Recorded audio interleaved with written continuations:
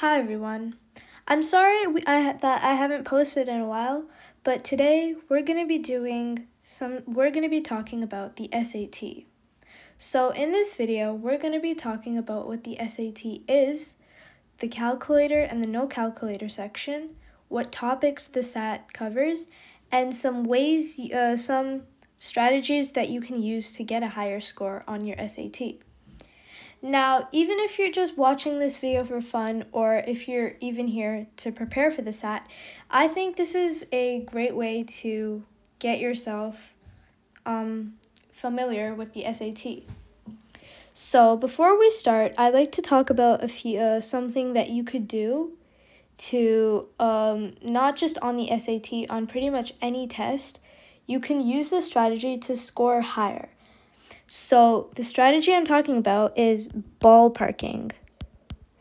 So whenever you have an MCQ, meaning a multiple uh, a multiple a multiple choice question, then there are usually four or five options that you um to uh, that you have that you're given and you have to and you have to choose the right answer to the an- to the question. So, what ballparking is is that if you're given uh, a few choices, let's say um a, B, and C, or D. So these four uh, options. Now, ballparking is when you eliminate. So ballparking is basically elimination. And you eliminate the choices until you have one or two choices left. So you don't have a bunch of options to confuse you. So you usually eliminate when the answer is to big or small? Um, when the answer doesn't make sense. So, like maybe a different unit or um, something like that.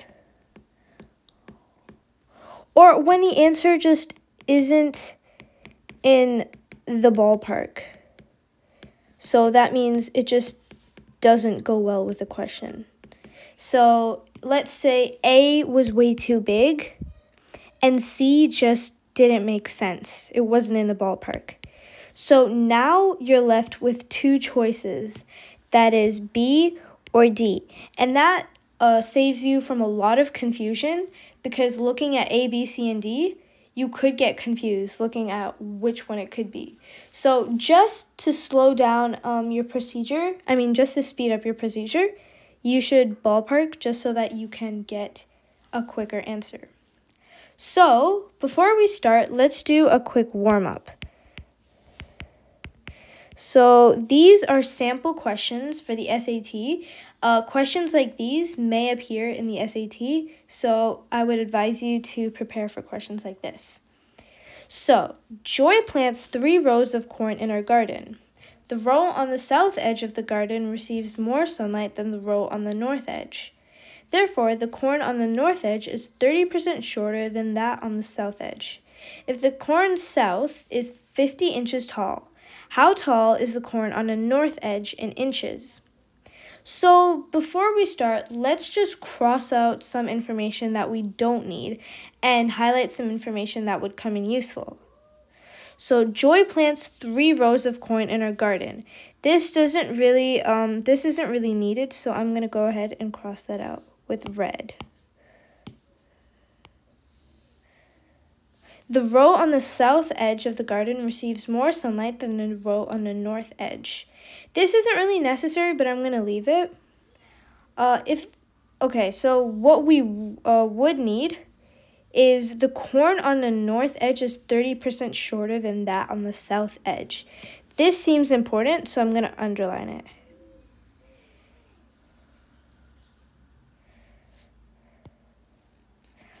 Okay, if the corn south is 50 inches tall, how tall is the corn on the north edge? So we know that the corn south is 50 inches tall. So I'm going to go ahead and cross everything else out.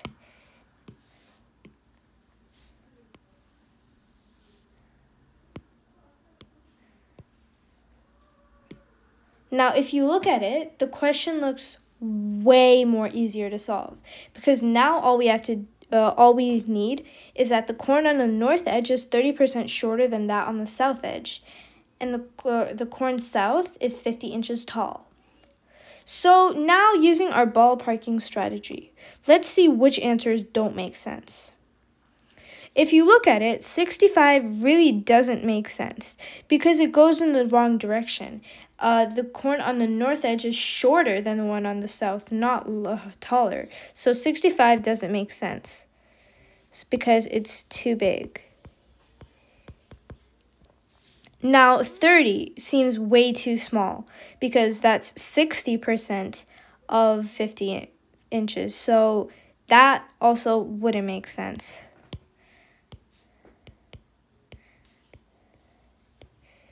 So now we have these two left. So which one is the answer? So let's perform the final operation, which is 50, uh, which uh, we need to find 30% of 50 inches. So that's the same as multiplying 50 by 0.3. So 50 times 0.3 gives us 15. So our answer must be 50 minus 15, which gives us 35. So the answer is C. Now our next question. If 16 minus if 16x minus 2 is equals to 30, what is the value of 8x minus 4? So, um, over here, there's not much crossing out to do. So let's just focus on the equation. 16x minus 2 is equals to 30. And we want to find 8x minus 4, not the value of x. We need, uh, you need to make sure that you are looking for the correct answer because then you can fall for trap answers. So we need to, we've, we've been given that 16x minus 2 gives us 30. So what is 8x minus 4? So taking our equation, which is 16x minus 2 is equals to 30, if we divide both sides by 2, that gives us 8x minus 1 is equals to 15. So 15 really doesn't make sense because, well, half of six, uh, half of the answer is 15, and that ignores the minus 4. And then looking at the 28, that's way too big. So, so we cross out the 28 and um and we also cross out the 15 because 15 doesn't make sense and 28 is way too big. Now, you could and if you think about it, 2 is also way too small because x can't be 2. Uh, I mean, it can be 2. So let's see what the answer is. 8x minus 1 gives us 15, hence 8x is equals to 16. So that means x is equals to 2, but we're not given, uh, we aren't given to find the answer of x. We need to find the value of 8x minus 4.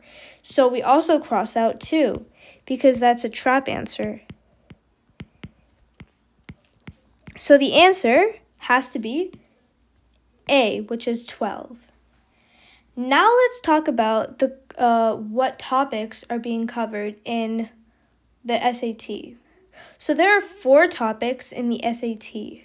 The heart of algebra, passport to advanced math, problem solving and data analysis, and additional topics. So these are just some cleverly named categories, but in real life, what's going to be tested is algebra, 1 and 2. Um, uh, arithmetic, probability,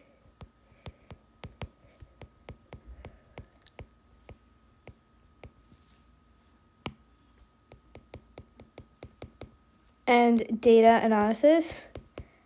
And lastly, there's going to be um some geometry, uh like plane or coordinate geometry, and trigonometry.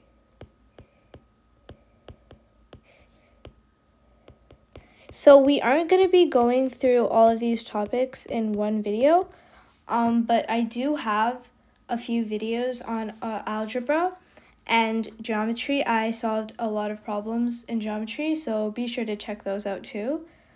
Um, so, what we're going to be doing now is we're going to talk about algebra, first of all. So, in algebra, uh, a mistake a lot of people do is they forget about BEDMAS or PEMDAS. So make sure you don't make a silly mistake.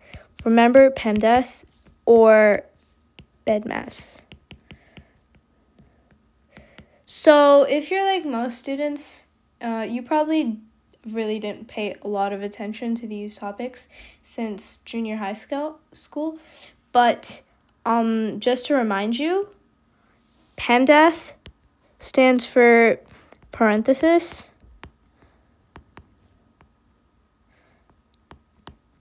Uh, exponents. Multiplication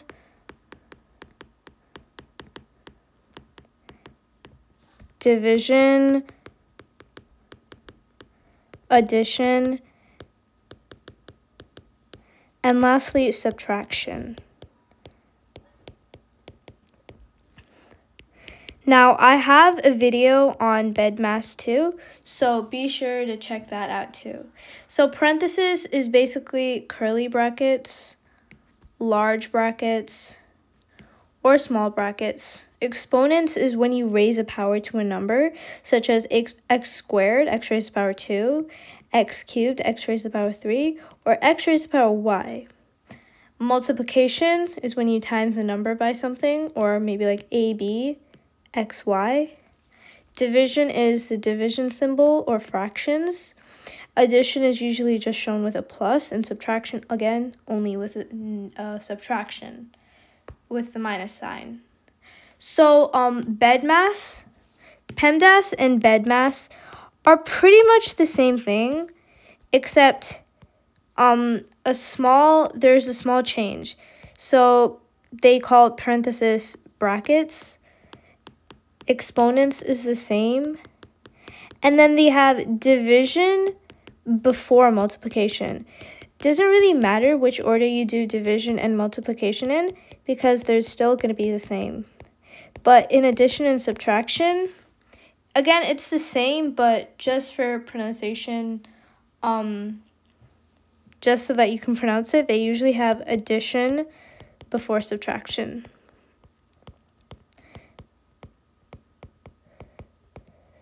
So brackets is again curly brackets, large brackets or small brackets. Exponents is raising a number to a power.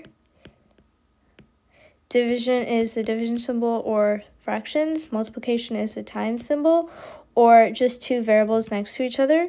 Addition is plus sign and subtraction is minus. So uh, we have a, um, a, a cool uh, a mnemonic that you can use so that you don't forget this. And um, the mnemonic is please Oh, um, I'll write that in here. Please excuse my dear Aunt Sally. So, um, this is like a, a funny sentence that you can remember so that you don't forget PEMDAS because if you look at it, it has P E M D A S, which spells out PEMDAS. And there's a little line that you can add at the end. She limps from left to right. So just so you remember, it goes left to right and not right to left. So, uh, we're gonna, uh, so that's pretty much it. Thank you for watching this video and um, please be, ma- uh, be sure to check out our other videos. Um, this is going to be a series. I'm to upload some more uh, videos on the SAT, so be sure to check those out too. Thanks for watching this video, and I hope you're walking away with a bit, a little bit more knowledge with the SAT. Thanks for watching.